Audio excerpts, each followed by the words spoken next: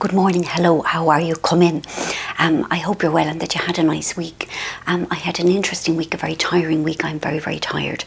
Um, and it's not actually Monday morning now, it's Sunday.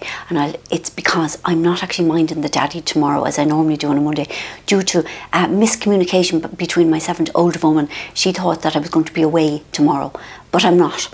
And so I need to get straight into my scribing in the morning. And if I had to stop to do uh, uh, the vlog, um, I would get distracted because I'm so distractible. And basically I'm back in the saddle um, with the, with the writing, which is very nice.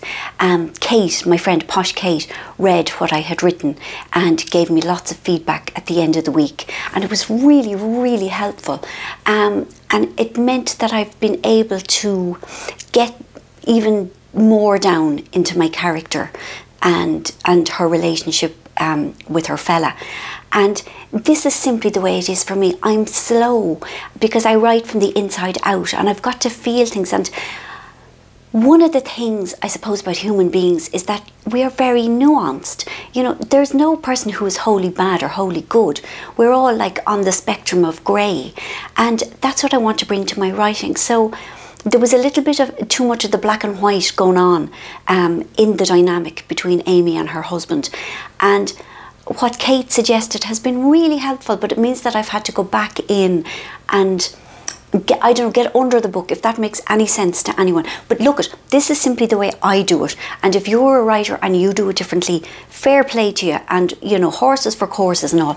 But I've realised one of the very downsides about no longer being mad in the head and, and really afraid and depressed is that I'm having a lovely time. I'm out and about, I'm meeting people, and I'm sort of in love with everyone. I mean, I have countless crushes on so many women, and I just want to meet everybody and, and go for club sandwiches and go for coffee and, and have chats and and just you know, people are I'm just mad about everyone at the moment and partly obviously the time that I'm off out eating club sandwiches and discussing skincare with the lovely Ashling McDermott, for example, uh, it means I'm not scribing. And also, I have no stamina. I am a weakling. I am feckin' useless. I would have been, if I was an animal, I would have been eaten by my brothers and sisters or left, that the herd would have got up in the middle of the night and said, feck her, leave her, come on. And they would have all tiptoed away across the, the, the Serengeti. I said, she's saying nothing, leave her. She's a feckin' drag on us, you know? So, yeah, I am no good at energy and stamina and stuff like that. So even after I have a lovely time, and I, I'm having many lovely times, I'm very tired the next morning. So the good times have to stop or be very, very severely curtailed.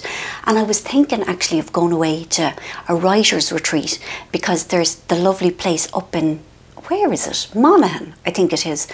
But I'm sort of afraid that if I go to some place like that, that all the other writers, the proper, the real writers would go, oh, there's some chick lit type trying to come in and I feel that like I'd be walking up to the gate and they'd be pelting me with, with Brendan Behan's Borstal Boys, and then they'd get the giant copy of Finnegan's Wake and they'd put it in the big catapult like they have in Game of Thrones and medieval things, and they'd they'd go heek, and then they'd feck the giant copy of Finnegan's Wake over the ramparts and over the moat and over the gate to flatten me. So I, I would I think I would spend my entire time feeling not worthy, not not worthy of being there. Sure, look it anyway. So I mean, the thing is, I'm back in the saddle, but then I'll be out of the saddle again uh, on Thursday because I'm going to the Disneylands with the Redzers. And even though I've told myself that I'm going to work while I'm away, and I really hope I do, um, I'm I'm easily distractible. I'm phenomenally lazy. That's another thing um, that kind of mi mitigates against me. Mitigates is the wrong word. Works against me. Um, but I'm going to try anyway, I'm going to try and I'm feeling hopeful because I'm feeling connected with it. Uh, so um, can I show you my new shoes? Thanking you. I got them in Bath. Do you remember I was in Bath for um, the, the Bath Literary Festival with Sally Hughes? Um, look at these lovely things. They're by some Portuguese woman. It's called Chan E B, Chani with two eyes. Do you see? Chan E E. And like they were dear, but not that dear. Like they were over a hundred pounds and under two hundred pounds, so they wouldn't be like Jimmy Choo's or that sort of a thing. Um, but they wouldn't be like Dune. Would it be Dune? Dune is dear enough. Anyway, yes. So anyway, I love them. I'm bringing them to um, to Orlando. Um, I'm hoping I get the chance to wear them, um, and uh, I hope you're well. I hope this has been of some interest to you, um, and I will I will continue to communicate with you. We will manage something, myself and himself. Thank you for your uh, whatever the word is indulgence. Goodbye. Thanks.